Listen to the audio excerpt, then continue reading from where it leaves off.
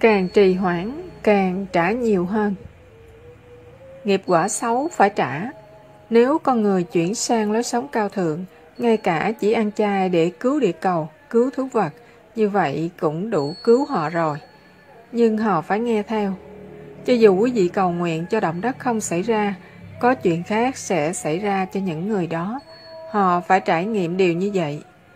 Trừ phi họ hồi tâm chuyển ý và nương vào ái lực vĩ đại của chính mình, bản tánh từ bi. Đó là nơi nương náo duy nhất của họ. Nếu quý vị cầu chuyện này đừng xảy ra, thì chuyện khác sẽ xảy ra. Đôi khi càng trì hoãn, tiền lời càng nhiều. Nghiệp quả cần phải xử lý, tôi rất tiếc mà nói vậy. Nếu chúng ta có thể cầu cho mọi việc ngừng lại, thì tôi đã bảo quý vị làm rồi. Chúng ta cũng có thể cầu tình trạng có thể được giảm thiểu. Nhưng có lẽ giảm thiểu về mặt nào đó, nhưng nhân loại phải trả nghiệp nó bằng cách nào khác hoặc nơi nào khác về sau. Thậm chí có lẽ còn mãnh liệt hơn. Họ phải trải nghiệm hậu quả mãnh liệt hơn. Chúng ta biết điều này không tốt. Chúng ta thấy tất cả sự tàn nhẫn và sự tẩy rửa đang diễn ra trên địa cầu. Một mặt chúng ta cảm thấy rất tội nghiệp cho nhân loại, Mặt khác, chúng ta không giúp họ được bao nhiêu ngoại trừ nói với họ rằng quý vị có thể giúp mình bằng cách quay trở lại với lực lượng khẳng định của mình. Bằng cách sống tử tế, quý vị sẽ được đối xử tử tế. Bằng cách cứu sinh mạng, mạng sống của quý vị sẽ được bảo vệ. Đối xử người khác với tình thương, quý vị sẽ được đối xử giống như vậy và nhiều hơn, gấp bội lần. Chúng ta có thể cầu nguyện cho thế giới hòa bình, có thể cầu nguyện cho toàn địa cầu, nhưng nhân loại phải thay đổi. Bởi vì giả sử chúng ta cứu họ bây giờ, động đất này không xảy ra và mạng sống con người được giữ lại. Nhưng cuộc sống họ cũng sẽ y như cũ. Họ sẽ tiếp tục lối sống cũ. Họ sẽ ăn thịt, uống rượu hoặc sát sanh, hoặc sát hại thú vật, gây chiến với nhau, uống rượu và gây tổn hại cho chính họ. Rồi sau khi qua đời, họ sẽ tái sanh vào một hành tinh khác, hoặc trở lại đây chịu số phận đau khổ y vậy, thậm chí còn tệ hại hơn. Càng trì hoãn, càng phải trả nhiều hơn. Cách duy nhất để sống Họ gọi loài thú ăn thịt này là hung dữ, tàn ác, là giả thú. Còn chúng ta gọi mình là gì? Là gì? Đáp, loài người văn minh. Sư phụ, chúng ta làm nhiều điều tệ nhất đối với loài vật.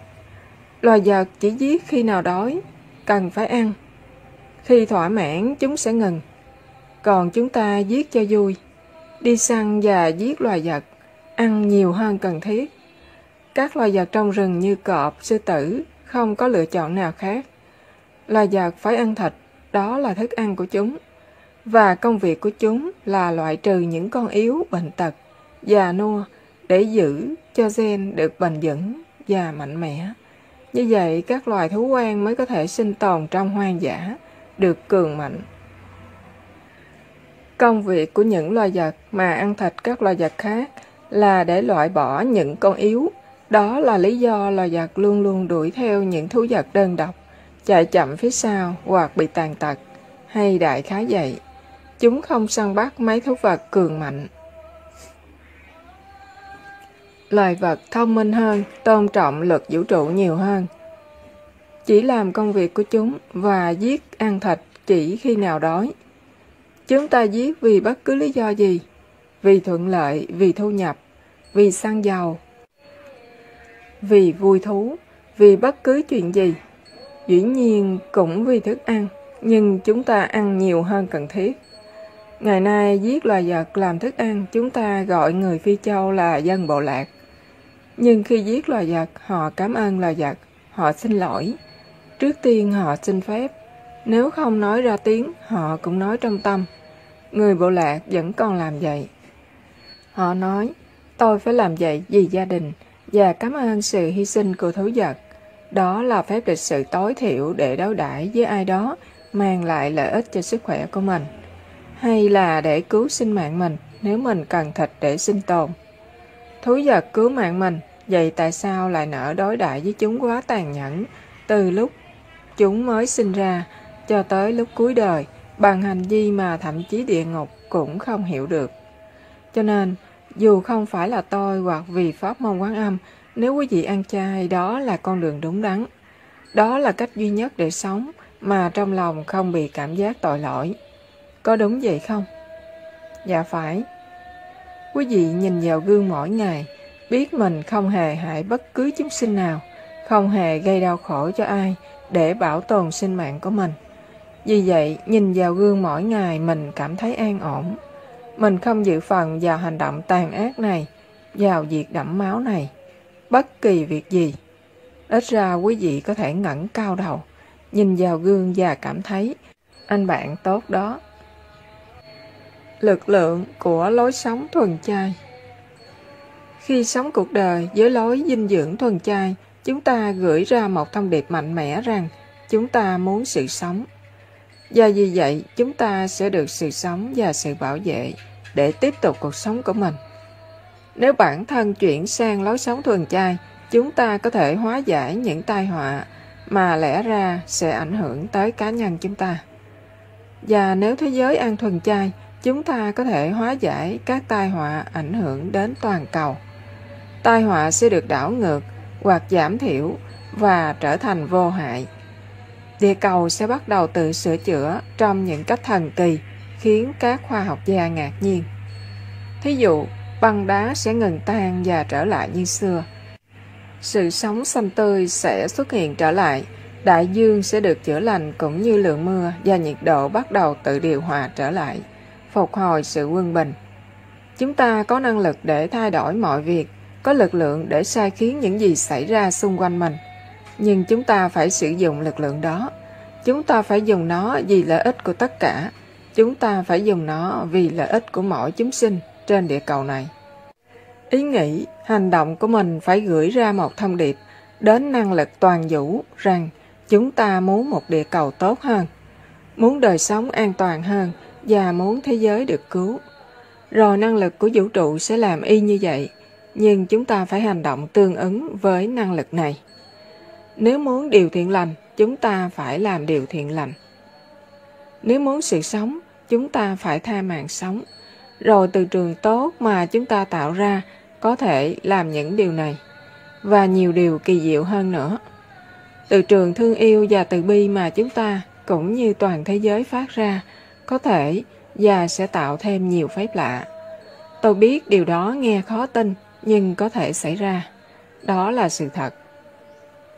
Chúng ta có thể tạo mọi thứ mình muốn nếu chúng ta sống phù hợp với quy luật của vũ trụ.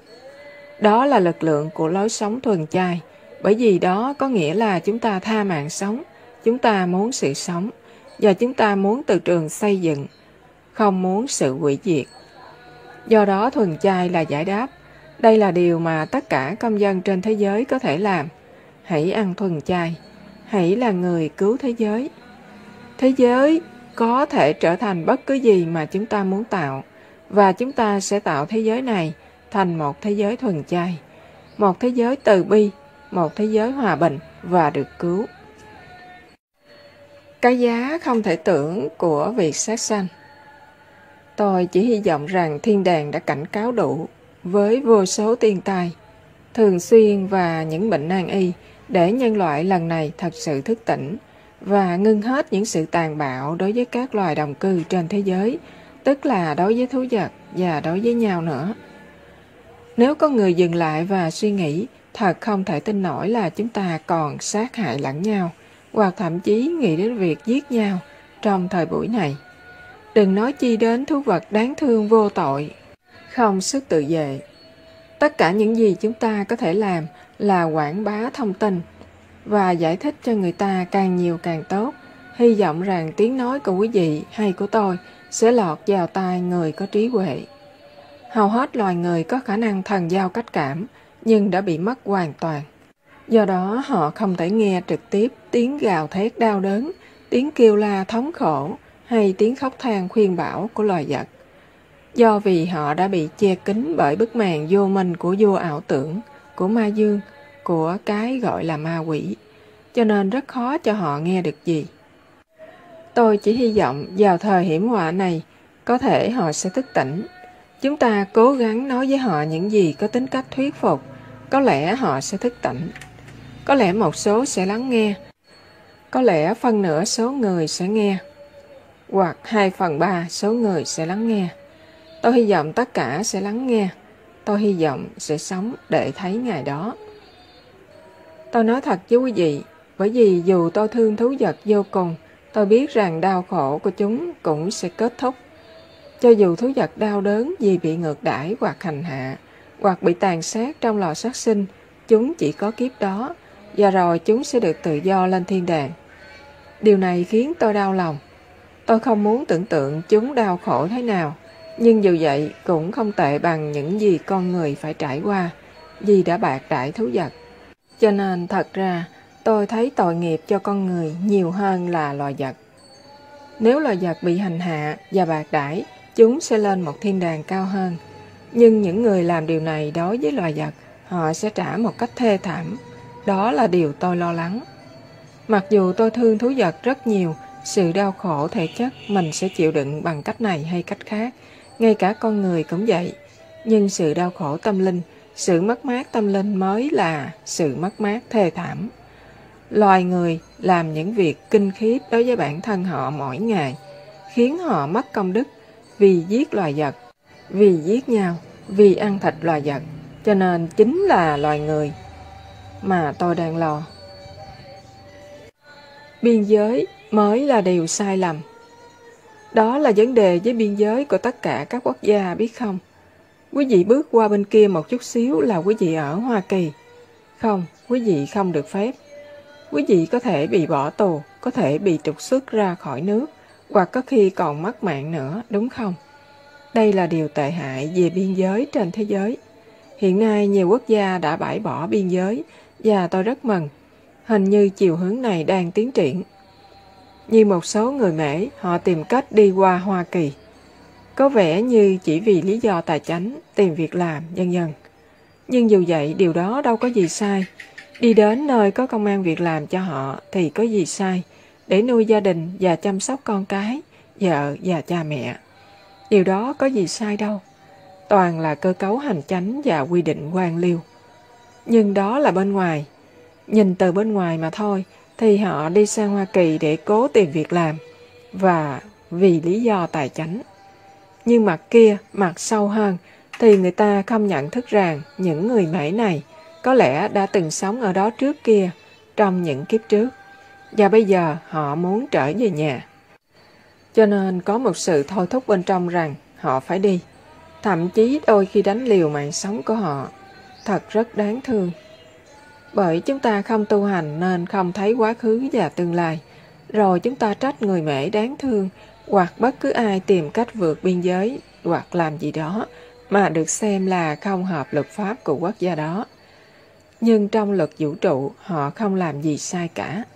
Ngay cả luật thế gian, họ chỉ muốn cố gắng tìm một việc làm và làm việc lương thiện để kiếm tiền, săn sóc gia đình để họ không trở thành một gánh nặng cho xã hội, để họ không phải đi xin ăn. Họ chỉ tìm công việc làm và họ vui lòng làm bất cứ việc gì chỉ để có tiền. Đó là nói về mặt vật chất. Mặt khác là có lẽ nhà họ ở đó và bây giờ quý vị đang sống trong nhà của họ. Quý vị có nhiều quyền lực hơn, nhiều tiền hơn, nhưng họ vẫn không khỏi có sự thôi thúc trở về nhà. Trước khi người Mỹ đến Hiệp Chủng Quốc Hoa Kỳ, mảnh đất đó thuộc về ai? Thổ dân bản xứ. Thổ dân bản xứ, phải. Mọi người đến và chiếm lấy một phần, rồi bây giờ trở thành của họ, sau đó cấm những người khác đến. Ai cấm họ khi họ mới đến lần đầu? Vấn đề là vậy. Luật pháp theo ý tôi không luôn luôn hoàn mỹ. Dĩ nhiên nó bảo vệ một số công dân trong những vùng nào đó trong xã hội nhưng cũng cần cứu xét cho những trường hợp khác nhau đúng không? Điều đó rất khó. Họ nói được, quý vị có thể làm đơn xin một cách hợp pháp và qua đó tìm việc làm. Nhưng có bao nhiêu người biết cách làm và cần thời gian bao lâu để xin và cũng không biết họ có nhận hay không. Trong hoàn cảnh tuyệt vọng, họ muốn đi tìm một công việc gì đó để làm, hầu có thể nuôi gia đình. Như vậy có gì sai chứ? Điều sai là biên giới. Không ai làm gì sai, ngoại trừ biên giới là sai. Thượng đế tạo địa cầu không có biên giới, không có hàng rào, không có tường thành. Và rồi chúng ta tạo ra mọi thứ, phân chia loại thành nhiều nhóm và chủng tộc khác nhau. Do vì vậy mà đôi khi sinh ra chiến tranh bởi vì đây là đất của tôi, đó là đất của anh. Đây là nhóm sắc tộc, đó không phải. Chúng tôi người Mỹ, quý vị người mỹ đây là những điều dẫn đến chiến tranh và thù hằn giữa con người với nhau. Rồi nếu không sang được Hoa Kỳ để tìm việc làm, thì họ làm những chuyện khác, hoặc đi trộm cướp nếu họ đói, họ sẽ làm vậy. Hoặc họ buôn ma túy, và rồi chúng ta trừng phạt họ vì tội trộm cắp bởi vì đói, tội cướp giật vì họ không có việc làm, không có tiền để nuôi gia đình, tội buôn bán ma túy vì họ không tìm được việc gì khác để làm. Chúng ta phải trách xã hội nói chung, trách chính sách và hệ thống của cả thế giới. Không thể chỉ trách những người trộm cướp hay buôn ma túy. Nếu họ được chăm sóc tốt và có việc làm tốt, họ có liều mạng để buôn ma túy không? Họ có hạ thấp phẩm giá của mình để đi cướp bóc hay đi ăn trộm không? Nhưng tâm thức con người vẫn chưa lên đủ cao để nhận thức tất cả những khái niệm đồng nhất thể này và giúp đỡ lẫn nhau đúng cách. Trước tiên họ phải bắt đầu với việc ăn chay để rửa sạch những thù hằn và tư tưởng hiếu chiến. Và rồi từ từ họ sẽ vươn tới lòng yêu thương tử tế và rồi đồng nhất thể hơn, giúp đỡ lẫn nhau như người trong nhà. Tôi hy vọng tôi sống để thấy ngày đó.